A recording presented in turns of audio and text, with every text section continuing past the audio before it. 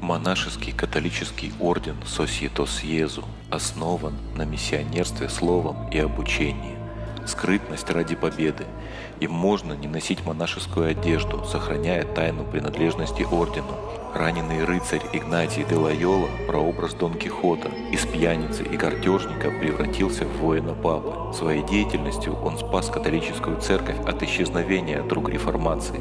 Лайола создал духовную практику познания Бога. Монах самоисповедью признает старые грехи, преодолевает их и идет дальше, на путь просветления, созерцания Бога. Не позволяй мне отдалиться от Тебя.